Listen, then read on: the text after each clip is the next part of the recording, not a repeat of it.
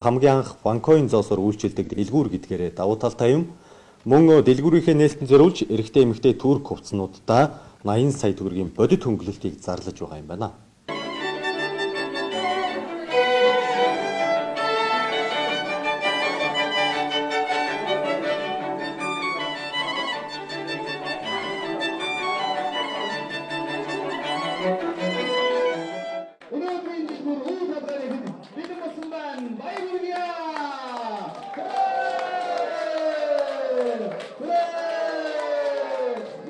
VIP OneCoin Shop нь OneCoin, Bitcoin болон бусад төрлийн криптовалютаар үйлчилдэг гэдгээрээ онцлог давуу талтай.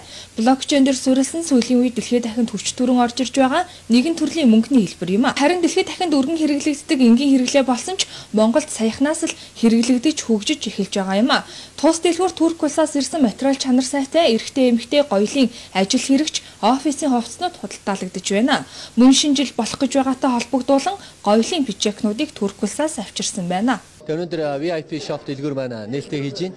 За VIP shop дэлгүүр маань бол үндсэндээ Улаанбаатар хотод байгаа бүх хэрэглэгчдэд бол үндсэндээ үйлчилгээ үзүүлэн. За түүнээс цаашлаад бол яаж яах гэхээр монголчууд 2015 оноос хойш одоо криптовалютыг маш олон төрлийн криптовалютыг эзэмшиж байна л да. Биткойн, OneCoin, Ethereum гэдэг юм уу. 2000 гаруй нэр төрлийн криптовалют бол байна. 2000 гаруй нэр төрлийн криптовалют дотроос монголчууд тэр дундаа бол одоо OneCoin гэдэг хэмээх одоо зоосыг бол нэлийг эзэмшиж байгаа. За ингээд OneCoin зоосыг бол эзэмснээр бол яаж яах вэ гэхээр 13-аас 16 мянган хэрэглэгчид бол өнөөдөр байгаа.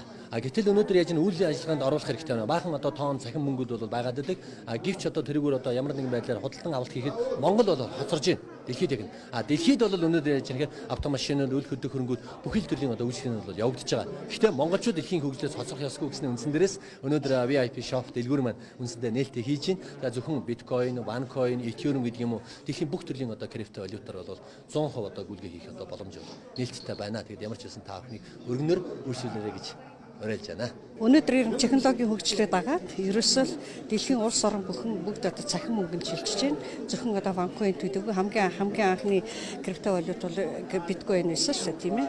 За тэгэхээр яг вэхээр ерөөсөө л одоо банкны өндөр одоо шимтгэлийг харсан тийм ээ. Ер нь одоо хүмүүст хямд зарлаар одоо илүү их амжилтанд хүрэх, илүү их ашигыг олж авах юм боломжийг бол криптовалют олгож байгаа. Тэгэхээр яг вэхээр дэлхийн улс орон бүхэн ялангуяа баруун Европын орнуудад энэ төр яг криптовалютыг одоо хэрхэн зохицуулах уу гэдэг бас хууль дүрэн бас гарч байгаа.